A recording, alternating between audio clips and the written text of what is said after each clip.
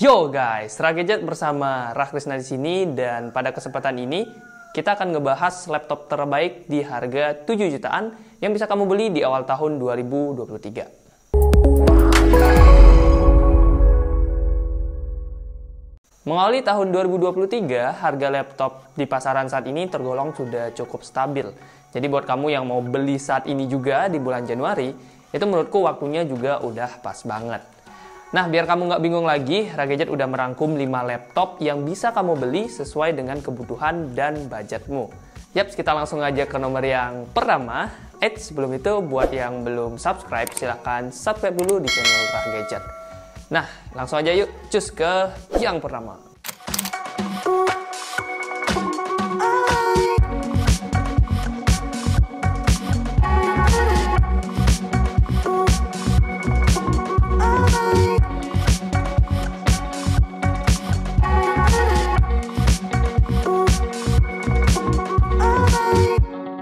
Laptop 7 jutaan terbaik 2022 yang pertama adalah Huawei MateBook D15. Buat yang nggak suka ribet dan pengen laptop yang tinggal dipakai aja, laptop ini bisa jadi pertimbangan utamamu. Dari segi spek nggak aneh-aneh, udah cukup banget buat menunjang kebutuhan harianmu. Intel Core i3 1135G4 dengan Intel UHD Graphics, RAM 8GB DDR4 3200 MHz, dan SSD 256GB M.2 NVMe. Di atas kertas memang tergolong kurang menarik, tapi Huawei ini terkenal dengan optimalisasi softwarenya sehingga spek yang standar tadi bisa menghadirkan experience yang maksimal kalau kita yang langsung pakai.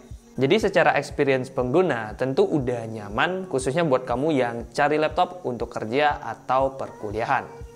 Tapi kalau buat main game sih ya belum begitu kuat ya. Kabar baiknya sih jadinya kita jadi lebih terhindar dari godaan untuk bermain game. Ya mungkin lah ya bisa lebih fokus kerja kali. Kerja juga makin asik berkat layar lega 15,6 inch IPS Full SD-nya yang bakal manjain mata. Apalagi baterai 42 watt hours-nya bisa bertahan hingga 9 jam nonstop jika kita gunakan untuk nonton film atau browsing-browsing standar. Dikombinasikan dengan desain ergonomis, bobot 1,56 kg dan tebal 1,69 cm, membuat laptop ini juga udah nyaman buat dibawa nongkrong. Untuk port udah lengkap dan kekinian.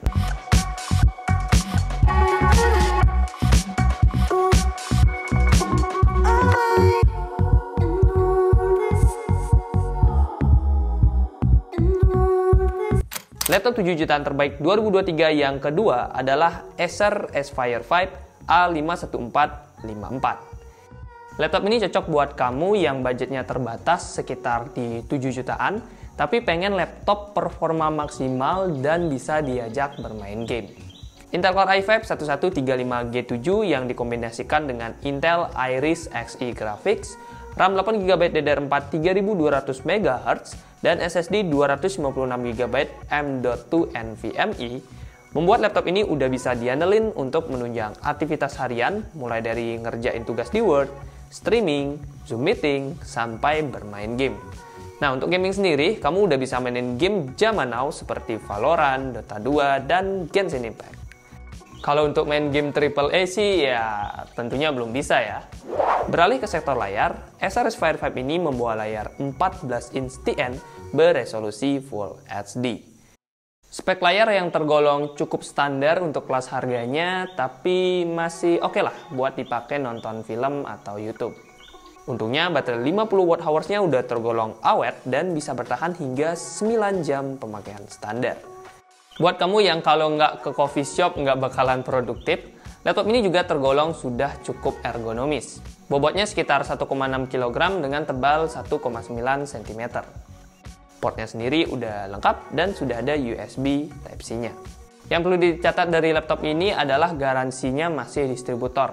Jadi kalau amit-amit nih laptopnya kenapa-kenapa, kita bakalan lebih sedikit lebih ribet dan makan waktu lebih lama untuk bisa klaim garansinya.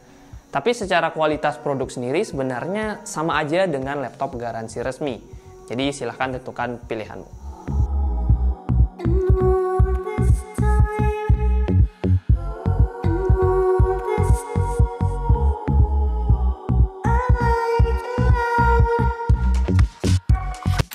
Laptop 7 jutaan terbaik 2023 yang ketiga adalah Lenovo IdeaPad Slim 3i 14 ITL. Buat kamu para pelajar atau mahasiswa, laptop ini layak kamu pertimbangkan. Performa yang bisa diandalkan, bobot yang ringan, dan free Office Home Student 2021 jadi tiga alasan yang kuat untuk meminang laptop ini. Berbekal Intel Core i3 1115G4 dengan Intel UHD Graphics, RAM 8GB DDR4 3200 MHz dual channel, dan SSD 512GB M.2 NVMe, laptop Lenovo ini sudah siap menghajar berbagai aktivitas perkuliahan seperti bikin laporan, streaming video pembelajaran, atau dengerin dosen di Zoom. Kalau buat gaming gimana? Nah, kalau buat gaming sendiri sih untuk mabar Valorant atau Genshin masih bisa. Cukup lancar kok, walaupun settingannya ya harus di agak-agak low gitu. Untuk layarnya sendiri, Lenovo IdeaPad Slim 3i membawa layar 14 inch berpanel TN dengan resolusi Full HD. Udah oke okay buat film ataupun nge-youtube ria. Baterai 38 Wh-nya juga udah kuat dipakai maraton video hingga 7 jam nonstop. Ditambah bodi dengan tebal 1,9 cm dan berat 1,41 kg-nya, bikin laptop ini sabi banget buat dibawa ke kampus atau tongkrongan.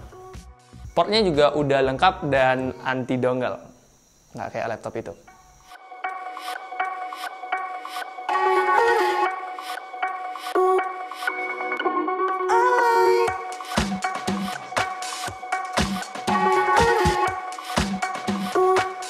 Laptop 7 jutaan terbaik 2023 yang keempat adalah HP 15. Yaps, namanya emang hanya HP 15 ya.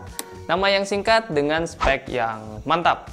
AMD Ryzen 5 5500U dengan AMD Radeon RX Vega 7, RAM 8GB DDR4 3200 MHz dual channel, dan SSD 512GB M.2 NVMe. Bisa dibilang laptop ini memiliki spek terbaik dibanding 4 laptop lainnya pada list kali ini. Streaming YouTube, multitasking, mendesain, semuanya bisa dihajar dengan lancar. Kamu juga udah bisa mainin game Genshin, Valorant, ataupun GTA 5 dengan lancar di laptop ini. Berbicara soal layar, HP 15 ini membawa layar berukuran 15 inch dengan panel TN dan resolusi Full HD. Layar yang lega untuk dipakai nonton film, tapi memang belum cocok untuk editing profesional.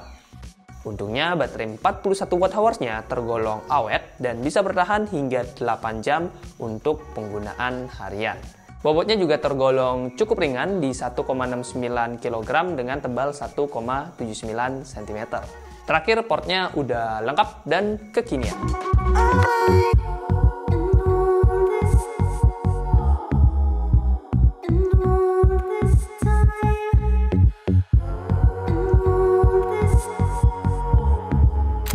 Laptop 7 jutaan terbaik 2023 yang terakhir adalah Infinix InBook X2. Meski berada di urutan terakhir, laptop ini nyatanya layak dijadikan pertimbangan pertama kalau kamu ingin beli laptop untuk kebutuhan kuliah ataupun sekolah. Satu-satunya alasan laptop ini ditaruh di urutan kelima adalah stoknya yang langka. Yaps, saking menariknya laptop ini, stoknya sampai susah dicari. Ada tiga alasan utama kenapa laptop ini oke okay banget. Alasan pertama, spek yang menang banyak. Intel Core i3 1035G1 dengan Intel UHD Graphics, RAM 8GB DDR4 3200 MHz, dan SSD 512GB M.2 NVMe. Kombinasi yang udah oke okay banget buat dipakai nonton film, ngerjain tugas, ataupun ngedrakor di laptop ini. Alasan kedua, desain dan ergonomis. Infinix InBook X2 memiliki berat 1,24 kg dengan 1,8 cm yang tergolong ringan dan enak dibawa ke mana-mana. Desainnya juga kekinian dan terlihat mewah. Alasan ketiga, layar yang cakep banget. 14 inch IPS Full HD dengan 100% sRGB. Bisa dibilang laptop ini merupakan laptop dengan layar terbaik di harga 7 jutaan saat ini. Dipakai film enak, baca jurnal nyaman, dan editing profesional juga udah bisa. Mantep pol dah. Oh ya, portnya juga udah lengkap, plus ada SD card slotnya.